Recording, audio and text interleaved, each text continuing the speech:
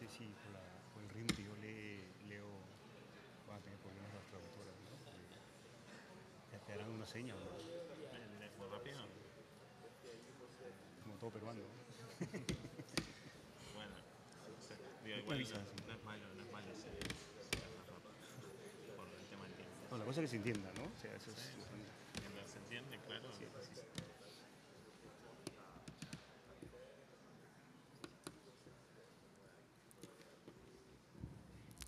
Bueno, seguimos con la siguiente conferencia de Andrés Garay y Jorge Villacorta, eh, la sociedad arequipeña y su complicidad con el retrato fotográfico de 1895 y 1920. Jorge Villacorta Chávez, crítico de arte, y Andrés Garay Albújar, historiador de la fotografía, unieron esfuerzos como investigadores a fines del año 2000 al compartir su interés en el desarrollo histórico y estético de la fotografía del sur andino peruano entre 1880 y 1950. Juntos han publicado los resultados de sus investigaciones en el artículo sobre la fotografía de Emilio Díaz, Max de Vargas, los hermanos Carlos Miguel Vargas, el Observatorio Astronómico Carmen Alto y Martín Chambi en revistas como La Ciudad de Arequipa, Humboldt de Alemania, CDI de Lima, Diario del Comercio de Lima, Actas de Congreso de la Sociedad Iberoamericana de Historia de la Fotografía de Buenos Aires, entre otros. En el año 2005 fueron los curadores de la exposición Max de Vargas y Emiliano Díaz, dos figuras fundacionales de la fotografía en el sur andino peruano 1896-1926, que reunió más de 250 fotografías originales de época en la Galería Hermann Kruger del Instituto Cultural Peruano Norteamericano de Lima. El libro catálogo de esta exposición vio la luz dos años después, en 2007. Andrés Garay, docente e investigador de la Universidad de Piura, y Jorge Villacorta, que no pudo venir, de Alta Tecnología Andina. Eh, Muchas gracias. Eh, antes que nada, quiero sumarme a la felicitación a Daniel Sosa y a su grupo de profesionales que tienen 10 años de, de historia y deseo sinceramente que, que todavía tengan una vida más larga. Y muchas gracias por la invitación y espero estar a la altura pues, de, de las circunstancias, de los que me han antecedido y algunas personas notables que también he encontrado aquí. Eh, yo lo que voy a presentar ahora es, un- en realidad es un resumen de un libro que acabo de publicar con Jorge Villacorta. Eh, espero no extenderme mucho, ya me avisarán. Y nada, empiezo. La sociedad arequipeña surgió sobre la base de la sociedad criolla tradicional después del terremoto de 1868 que destruyó gran parte de la ciudad. La llegada de europeos y norteamericanos por, por el desarrollo portuario, ferroviario, minero y de comercio de lana y oveja y alpaca fue la catalizadora de cambio post-terremoto y post-guerra del Pacífico de 1879. Los profesionales extranjeros gradualmente pasaron a frecuentar familias arequipeñas en franco intercambio social. Casados con damas criollas, se convirtieron en miembros de una nueva clase dirigente que se embarcó en un, en un gran movimiento comercial local y regional. Por la fotografía, esta sociedad comprobó cómo el desarrollo transformaba su cultura al cambio hacia el siglo XX. De golpe, la imagen fotográfica fue sinónimo de cambio. Al conjugar lo público y lo privado e inaugurar un proceso continuo de construcción de memoria, el retrato fotográfico indujo expectativas en torno a potentes manifestaciones de la identidad local en los albores de un siglo que vería el progreso del sur del Perú. El retrato era también la razón de ser económica de la profesión del fotógrafo. Instalar, administrar y promover un establecimiento fotográfico era una empresa comercial, comercial de alto vuelo que podía pagar dividendos con creces y también llevar a la ruina. En este breve recuento destacaré los aspectos principales de la práctica comercial y estética en el estudio fotográfico de seis artistas, conectados con Arequipa. Aquí algo, ¿eh? Conecta- Conectados con Arequipa eh, como lugar de formación y desempeño profesional. Carlos Gel, Emilio Díaz, Maximiliano Vargas, Carlos y Miguel Vargas y Martín Chambi. Ellos fueron contemporáneos a inicios del siglo XX y los protagonistas de un espacio fecundo para la fotografía peruana. Carlos Held. Carlos Held estuvo activo en Arequipa desde 1872 a 1905 y fue el gran primer retratista en estudio de actividad, con actividad prolongada y que habría llegado aproximadamente hacia el año 1872. Parece haber tenido tempranamente más desarrollado y afinado su sentido empresarial. Desde 1872 procedió a retratar a una clientela arequipeña por espacio de tres décadas. A primera vista, su estilo puede parecer convencional, a la usanza del gusto más decimonónico, pero existen suficientes elementos como para identificar su particular sensibilidad y su puesta al día en su variada oferta comercial. A menudo usó cortinajes que deja caer y reposar sobre los respaldares o brazos de sillas y sillones que tenían en el estudio para marcar el encuadre de uno de sus lados. Tuvo un sentido justo de lo que es retratar el modelo de cuerpo entero, pero también supo centrar la mirada en cabeza y el tronco del modelo en primer plano llenando el ancho del encuadre. Entre los retratos femeninos realizados por Carlos Gel a inicios de la década de 1890, hay uno de una dama arequipeña que se trata de una joven de tez blanca, que lleva un traje que podría ser blanco, retratada contra un fondo uniformemente oscuro, de profundidad indefinida, de tal manera que su cuerpo se transforma en un elemento que desprende luz. Se trataría de una novia sin velo. Las flores en la cabeza serían parte del tocado tradicional que se observa en otras, también retratadas así. La dama está de cuerpo entero y el efecto es uno de mayor cercanía sin pérdida de elegancia formal. Tiende al contraste dramático, lo que puede hacer pensar en el contraste que el pintor español del barroco Francisco Subarán logra con fondo oscuro en sus cuadros de santos. Esta imagen sería el ejemplo más temprano del gusto arequipeño por retratar novias teniendo como fondo la oscuridad, como veremos más adelante.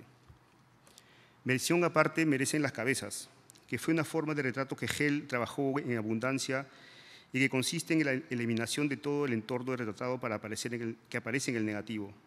Su cabeza queda flotando en una atmósfera blanca y vaporosa. Este efecto crea la creación de un semblante que emerge del ensueño. Bueno, esta imagen en realidad debería haber pasado, era la segunda, pero era, son autorretratos que podemos encontrar, no está el de Carlos Gel, pero sí de los otros cuatro artistas de lo que estoy hablando. Un, fotógrafo en particular parece haber quedado vinculado con las prácticas de estudio Carlos Gel. Se trata del joven fotógrafo Emilio Díaz, que se enseñaría el ejemplo de Gel en sus retratos tempranos haciendo uso de un esquema similar de composición. Emilio Díaz. Eh, la primera noticia que se tiene de su trabajo data de 1893, año en que ganó una medalla de plata por su fotografía en la exposición del Centro Artístico de Arequipa, en ese entonces tenía 23 años de edad y recién tres años después, en 1896, inauguró su estudio fotográfico propio.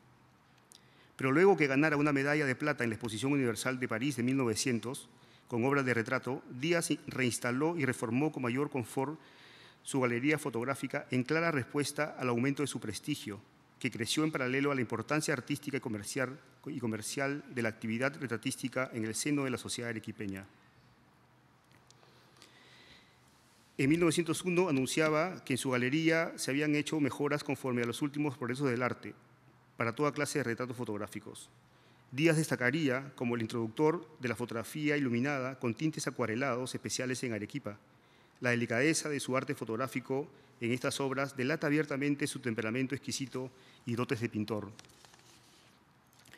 La fotogenia que Emilio Díaz construye incluyendo las cabezas como vertiente tomada de gel, es un aporte claro a la concepción de la fotografía de su tiempo e inaugura un cambio para el arte fotográfico en el sur peruano. Es un adicional, un adicional, un plus a la imagen que proviene del manejo técnico para sumarle belleza a esta.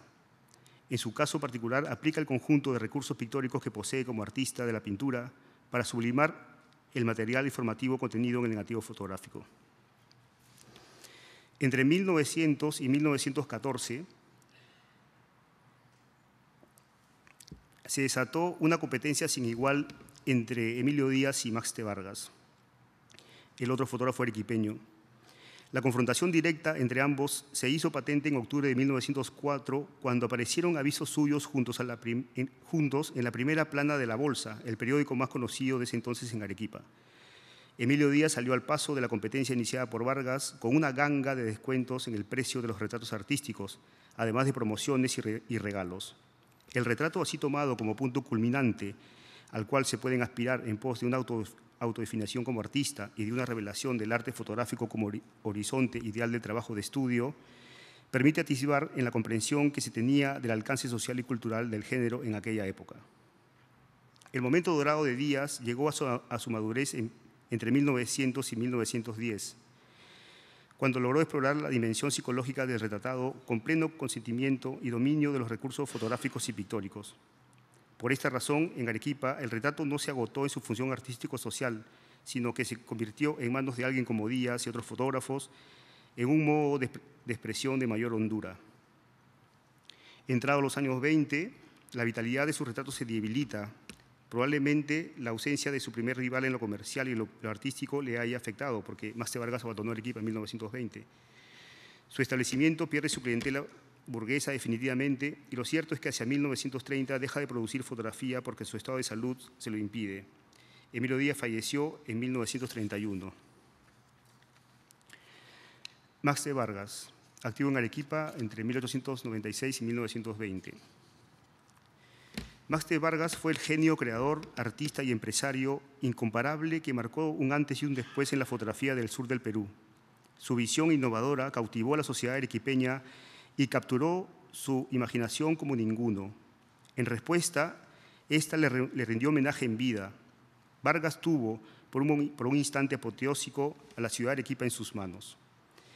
El sábado 12 de septiembre de 1914 se realizó una velada en el Cine Teatro Fénix de Arequipa, cuyo programa consistió en presentaciones artísticas y literarias para dar realce al concurso de belleza que era el acto central de la noche.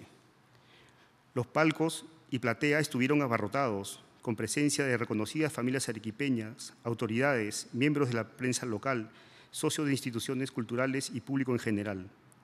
Dentro del programa de la velada, como consta reportada en prensa, abro cita, la exhibición de los retratos de las distinguidas bellezas que han tomado parte en el concurso fue la nota más resaltante de la fiesta, tanto por el atractivo de las flores mistianas, cuanto por el delicado trabajo del fotógrafo señor Max T. Vargas. Cierra cita. Para la presentación de los retratos en el Teatro Fénix, Max T. Vargas hizo uso de la técnica del diorama, con la que la fotografía se vio elevada a la altura de la cinematografía. El diario reporta que el público aplaudió intensamente la proyección de todos los retratos, haciéndose la ovación intensísima cuando aparecieron en el, en, ecran las fotografías de las señoritas. Los retratos de las concursantes subrayan el lado artístico más importante de Vargas en relación a la sociedad arequipeña.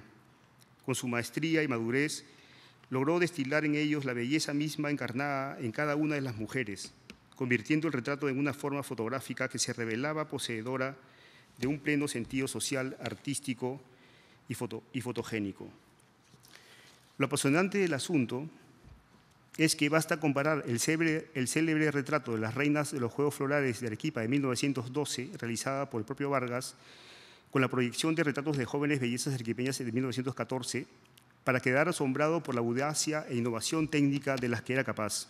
En solo dos años proponía una experiencia visual nueva, basada en lo fotográfico, pero más allá del soporte, físico. Lo del 14 fue una impactante puesta al día, especialmente concebida para el la, en la que la belleza femenina se lucía con todo su esplendor fotogénico, uniendo candor y glamour con el realce de juventud, moda y estilo elegante.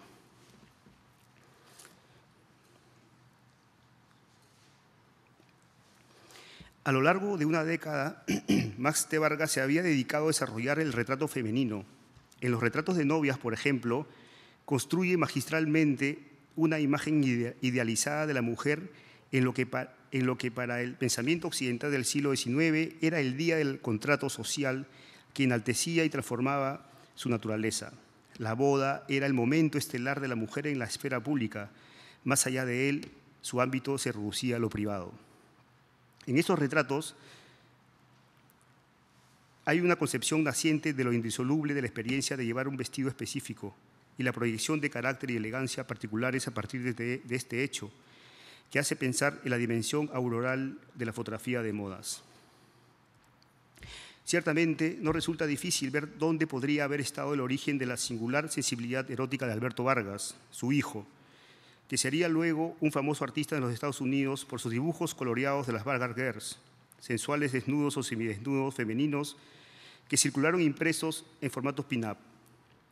Al momento de escribir su autobiografía, Alberto Vargas recordaría su aprendizaje en el uso del aerógrafo y la mirada sobre la, mujer a muy temprana edad en el estudio de su padre, Max de Vargas. El aerógrafo se convirtió en su pincel preferido en su carrera de, acuarelista. Al momento de dar al, acabado, al momento de dar el, acabado a sus afamadas ilustraciones eróticas para la revista Squire y Playboy.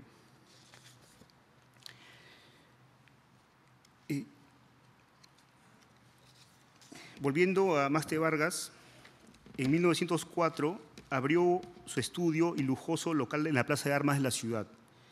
Fue el primer gran, fue el primer gran estudio de retrato fotográfico arequipeño al estilo de los templos de la fotografía estadounidenses y europeos, que era visible desde, puntos lejanos de la ciudad por las letras de gran tamaño en la, en la, vista de su techo de dos aguas sobre el portal que formaba la palabra fotografía, que ustedes pueden apreciar acá sobre la mano derecha. El estudio está ubicado al lado de la catedral y en un lugar realmente privilegiado desde el punto de vista comercial y visual. De este periodo de 1904 datan los retratos de una sesión en el estudio que vista desde el presente resulta extraordinaria y perturbadora. Se trata del retrato de un indio anciano cuya toma del rostro no es frontal, tiene cabeza y cuerpos girados de tres cuartos, aunque aparece solo hasta los hombros. Su porte es augusto y su semblante imponente como correspondería a un busto romano, pero con una diferencia paradójica. Bajo las condiciones de iluminación que dan relieve a sus arrugas, las cuencas de sus ojos parecieran vacías, se ven casi negras y su boca es una línea casi perfectamente horizontal con aspecto de larga hendidura, también oscura. La suavidad del fondo potencia estas últimas características de modo que ambiguamente el rostro se insinúa como una máscara. La situación se torna más compleja con el descubrimiento de otra imagen del mismo individuo realizada en el estudio durante la misma sesión, solo que las condiciones han sido distintas para la consecución de esta imagen, que ciertamente es un retrato. Se destacan los detalles en su apariencia, mientras posa sentado en una banca comúnmente utilizada para retratos artísticos. Ya no es ni imponente ni a gusto, es un indio retratado con su dignidad intacta, su ropa es andrajosa y está remendada por partes. Lleva un calzado humilde y una vara en la mano derecha. Aquí, obviamente, el, sentido del retrato varía por completo. El fotógrafo sabía que el hacerle un retrato a este personaje entraba en el terreno de lo fuera de lo común respecto a la práctica acostumbrada en el estudio. La actividad comercial del estudio no podía decaer y esta presión definitivamente restringió y finalmente excluyó la indagación en la identidad social y su relación de pertenencia a un grupo étnico. La beta, sin embargo, quedaría abierta. De regreso, de regreso a Arequipa en 1911, de un viaje por Europa, Maxte Vargas tuvo que encarar su trabajo fotográfico en solitario, ya que sus asistentes y ayudantes hasta ese momento, los hermanos Carlos y Miguel Vargas, que no tenían ni un vínculo con, con Maxte Vargas, ni un vínculo familiar, y Martín Chambi, rompieron vínculo laboral con él. La difícil situación se vio atravesada por la tragedia personal. En 1913 fallecieron sus dos pequeñas hijas, Carmela y María Alicia. María Alicia. Alcanzar la cima y ganarse el reconocimiento de su ciudad natal en 1914 con el concurso de belleza entra en contraste brutal con el profundo silencio en torno a su último año en Arequipa. Su partida está rodeada de un, silencio declarado a partir de 1920. Hacia mediados de, la década de 1920 aparece activo en La Paz y entrados los años 30 en Lima con una práctica fotográfica orientada a postales de vistas urbanas. Falleció en 1959 olvidado prácticamente.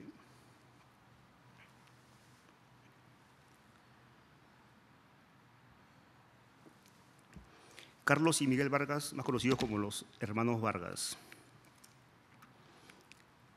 Eh, cuando los hermanos Vargas abrieron su estudio fotográfico en el portal San Agustín en 1912, en la Plaza de Armas, frente al de Max T. Vargas, Max T. Vargas y Emilio Díaz eran, los grandes, eran las grandes figuras del retrato fotográfico en Arequipa.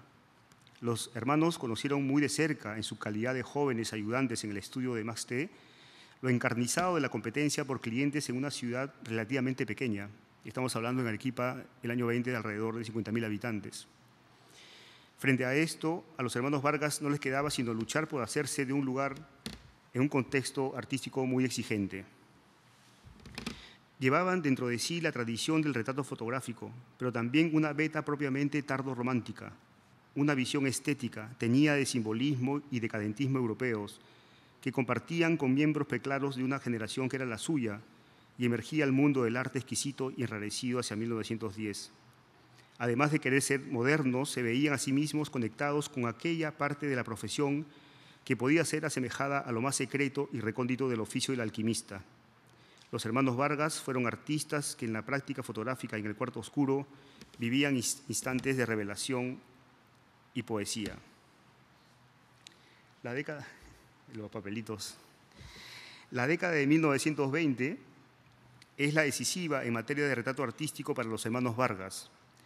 En el, terreno de la competencia comercial, los hermanos Vargas rápidamente se manifestaron como artistas y empresarios de nuevo cuño. Su práctica evoluciona rápidamente y se convierte en un despliegue de excelencia constante a lo largo de la década. Trabajan una reelaboración, logran un reposicionamiento en materia estética y concretizan su aporte a la tradición fotográfica arequipeña en forma de una particular e irrepetible combinación de ingredientes.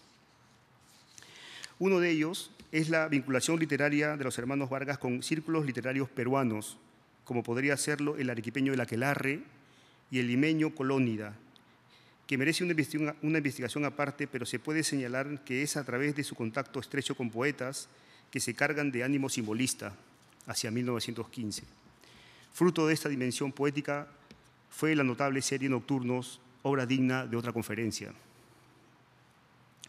En su afán por descubrir un nuevo rumbo al retrato, optan inicialmente por el flu, es decir, el ligero desenfoque, imprecisión alusiva a una viva espontaneidad. Una nueva naturalidad en la pose surge a la par con este nuevo dispositivo de sugerencia expresiva que podría ser leído como una marca de estilo importado. Otra línea de trabajo que, parece seguir el ejemplo de Gel en el, en el oscurecimiento del fondo, los hermanos Vargas retratan a niñas en primera comunión y a novias como figuras luminosas levitantes, aparecidas de las, de las tinieblas frecuentemente. Este es un punto muy alto de la alquimia del laboratorio, que los hermanos Vargas transmitieron a Martín Chambi, su discípulo y amigo. La belleza femenina se transformó también, fueron los hermanos Vargas quienes mejor comprendieron la transformación de la psique femenina, una mujer más dueña de sí misma, capaz de aventurarse en el terreno de los hombres, muy consciente de su atractivo y lista a participar activamente de la fiesta sin permiso del varón. La nueva belleza arequipeña para los Vargas era una belleza moderna, el eterno femenino y mujer totalmente a la moda de 1920 en adelante en proporciones iguales. Entre los retratos femeninos de este periodo son frecuentes los de, bailarinas, tanto de ballet clásico y danza moderna. Reflejan un gusto extrañamente cultivado que continúa una de las características que constituía, perdón, una de las características más peculiares del dandismo europeo, el culto a la bailarina. Los hermanos Vargas también adoraron a las bailarinas que se presentaban en la ciudad y las llevaban al estudio para retratarlas. Pero creemos que este tipo de imágenes no se colocaban en las vitrinas de exhibición porque seguramente hubieran sido vetadas. Hay que reconocer en la fotografía de los hermanos Vargas, que, hay, que, reconocer perdón, que la fotografía de los hermanos Vargas tiene una significación que es propia de quien tiene un don artístico para la dirección. En este punto de su práctica, su espíritu pronunciadamente estético transforma sus orígenes decadentistas en una expresión radical de luces y sombras y ensoñación. los efectos de iluminación planteados empujan a una presencia que pareciera emanar de una realidad profundamente alterada, que goza con lo, con lo surrealista. En la estética visual acrisolada de los Vargas, el cine puede haber sido el modelo de exploración de su propio y complejo mundo interior.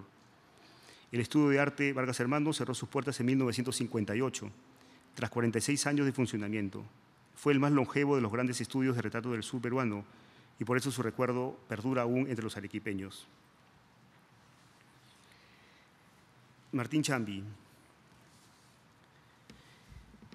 Eh, llegado a Arequipa en 1908, durante el momento de mayor inventiva local en la práctica de retrato fotográfico, Martín Chambi, ambicioso joven puneño, se vio envuelto en la vertiginosa actividad del estudio de Max de Vargas, al que entró como aprendiz.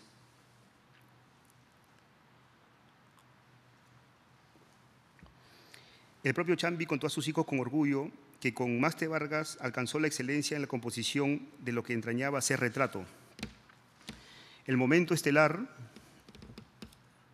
en el estudio de Maste Vargas ocurrió cuando el maestro le pidió a Chambi que organizara para la toma al, para la toma al grupo conformado por la señorita Irma Guinassi como reina, 11 damas acompañantes y cuatro pajes en aquel clásico retrato grupal peruano y clásico de clásicos de la fotografía arequipeña, conocido como las reinas de los Juegos Florales de Arequipa de 1912. Es obvio que la responsabilidad era inmensa y el reto estético mayúsculo, por cuanto implicaba total solvencia en el manejo de la pose individual dentro del retrato de grupo. En la, narrativa de Julia Chambi, quien quedó marcada este, por este relato de su padre, cuando el maestro entró en el estudio, se vio visiblemente emocionado con lo que, su discípulo de 21 años había logrado para que él procediera a hacer la toma. Después de esto, Max de Vargas lo habría visto partir para trabajar en el flamante estudio de los hermanos Vargas al otro lado de la Plaza de Armas. Resulta importante resaltar precisamente que para entonces Chambis no se distinguió por sus retratos en este contexto cada vez más competitivo, no parece ni siquiera haberlo intentado ni a su paso por el estudio de los hermanos Vargas, de 1912 a 1917. Los hermanos Vargas su rol habría seguido siendo el de operario aprendiz en materia de retrato. Para 1918, Chambi tenía esposa e hijos que mantener y eso constituía una responsabilidad completamente de otro orden. Recién, al instalarse en la ciudad del Cusco en 1920, iniciaría su trabajo de retrato que en la actualidad es objeto de admiración por parte de públicos del mundo entero. La experiencia de trabajo de Chambi con los hermanos Vargas le sirvió para afinar su técnica y también como carta de presentación ante la sociedad cusqueña. En 1921, Chambi publicó anuncios en un diario cusqueño que recalcaba lo siguiente, abro cita, después de muchos años de práctica en la fotografía de los hermanos Vargas de Arequipa, tengo el honor de ofrecer mis servicios profesionales en el arte fotográfico en general, con especialidad en ampliaciones de todo tamaño, y retratos estilo moderno. Cierra cita. Los retratos realizados en estudio por Martín Chambi en los años 20 en el Cusco se presentan, se presentan notables, sobre todo a la luz de la tradición del retrato fotográfico arequipeño, de donde procede su formación como fotógrafo. En su práctica de retrato de estudio, a Chambi le interesó el retrato en la oscuridad, el enigma, la aparición inusitada, la ocultación de los detalles, como es el caso de este autorretrato, que ustedes están viendo en la pantalla, en el que su rostro emerge de un fondo negro con ilusión trágica. El rostro es la máscara. Pero la oscuridad, pero la oscuridad no solo es crucial en una imagen tan personal como esta, también lo es en un retrato de carácter eminentemente social. La conocida foto de la boda del prefecto Gadea realizada en 1924 lleva toda la influencia de una modalidad de retratos de novias en el día de su boda, vestidas de blanco, que simboliza pureza, son presencias que podrían ser descritas como angelicales, que flotan en un espacio oscuro profundo. El efecto del conjunto en el retrato de Chambi es el de una comparsa salida de la pintura flamenca, con trajes de la década de 1920, envuelta por una oscuridad que devorará a novios y convidados. Pero ¿por qué la boda del prefecto Gadea impacta aún a inicios del siglo XXI podría decirse que es porque hace visible el tácito decreto social, intuyendo la aparición de un nuevo orden simbólico compartido en torno a la fotografía y su inextricable vinculación con memoria y muerte. Todos y cada uno de los personajes se presentan como, más como entidades simbólicas que como presencias naturales, pero con ojos que miran punzantemente en dirección nuestra, calando en el golfo de un tiempo perdido.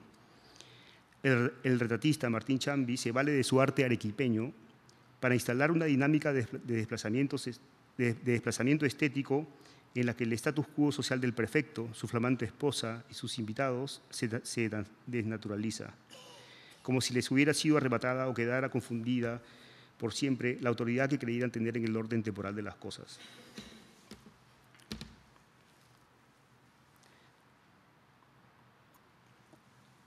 Entre las posibles lecciones aprendidas en Arequipa, otra merece particular atención. Corría posiblemente el año 1908, cuando su maestro Master Vargas realizó un retrato paradójicamente radical en el estudio. Recordemos que se trata del retrato de un indio anciano al que, ha hecho posar dentro de una banca con un telón de fondo pintado detrás suyo. Vargas hizo algo inédito e insólito para un establecimiento del peso social y cultural de su estudio de retrato. Cuando Martín Chambi Cuando Martín Chambi retrató a Juan de la Cruz Iguana, gigante de Chumbivilcas, de pie en su estudio con un telón de fondo detrás suyo, puso en, puso en práctica la lección aprendida. Chambi utilizó las fotografías del gigante solo para ser publicadas en revistas periodísticas limeñas. No utilizaría este retrato en exposiciones artísticas ni en postales, y esto guarda coherencia con su intención periodística. Chambi preservó la integridad del registro fotográfico tal cual y no intervino en él, lo que muestra que no quiso alterar la información registrada directamente por la Cámara en el espíritu de la buena práctica del, corresponsal gráfico de primera mitad del siglo XX, apoyada en una ética periodística testimonial. Al primer paso de hacer posar al indígena en el estudio como Maxte Vargas, Chambi concreta otro avance, en el que armoniza su noción de retrato artístico con una intención periodística y así dota al retrato del gigante de una estética informativa que enfatiza aún más su distancia con cualquier aproximación etnográfica. Otras dos tomas que se conocen del gigante incorporan la presencia del periodista Carlos Ríos y Víctor Mendíbil, eh, que era el retocador en el estudio de Martín Chambi. Es interesante observar el surgimiento en ambas de una situación teatral espontánea que casi vira hacia lo cómico o la o la comedia a expensas, en ambos casos, del individuo retratado junto a Siguana. Es la reacción al gigantismo y ya no solo el gigante, el motivo periodístico de la foto. Los gestos y miradas de estos individuos normales nos muestran de modo hilarante el punto al cual se ven intimidados por la proximidad con el gigante y la manera en que inadvertidamente se hallan en el ridículo, casi como en el cine mudo. Ya para terminar casi, Ahora bien, ¿no? Ahora, entre los más descollantes de la obra de retrato de Martín Chambi están los, retratos realizados fuera del estudio a solicitud expresa de los clientes. Chambi se puso de moda y se convirtió en el retratista favorito de todos los estamentos sociales cusqueños. Se veía solicitado por su reconocida calidad como para cumplir con fotografiar diferentes ocasiones. En ellas, el reto era armonizar diferentes identidades, expresiones y comportamientos en aras de plasmarlos en núcleos humanos en el gran tejido de la sociedad cusqueña. Chambi prácticamente reconstruía el acto de fotografiar en estudio, pero al hacerlo en exteriores aparecían variantes nuevas en cada caso, que estimulaban en él la creación artística. A la imagen grupal, compuesta y organizada pulcramente, Chambi, Chambi sumaría delicadamente detalles del espacio y objetos que enriquecían el retrato en composición y significado. En la era actual, en la que el retrato fotográfico goza de una vez más del favor consensuado de la, de la escena del arte internacional, sus retratos son hitos de una mirada esperanzada en un proceso moderno de transformación. En los retratos de Chambi se mantuvieron unidos en un arco temporal las vicisitudes del humano y el sentido cultural cambiante de toda encarnación histórica de lo andino a través de vidas individuales, protagonistas de encuentros y desencuentros entre fuerzas sociales disímiles. La vía de creación de Chambi en el retrato tiene que ver con la percepción preclara de la vastedad temática que ofrece una sociedad tensada entre la antigüedad y el ancestro y la actualidad y el futuro. En las obras, en las obras maestras de Martín Chambi confluyen de modo inédito en el Perú factores que en combinación arrojan una densidad de arte documental claramente fundacional y por ello comparable a, a las de Eugene Adjet o Walker Evans, si Chambi alcanza rápidamente la madurez fotográfica a poco de dejar Arequipa, es porque el arte arequipeño del retrato fotográfico transformado por un nuevo uso de la imagen y una nueva intención de la práctica fotográfica se, constituyó sin duda para él en el cimiento de su clarividencia documental.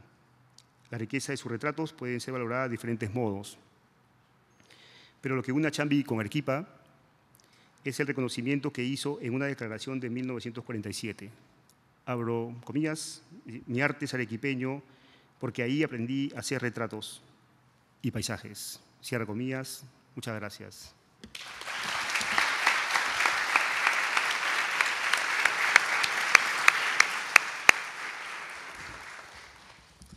Bueno, agradecemos a Andrés la conferencia. Abrimos el espacio de preguntas. Eh, le voy a pedir a quien quiera hacer una pregunta que levante la mano y que sean concisos así eh, podemos manejar mejor el tiempo.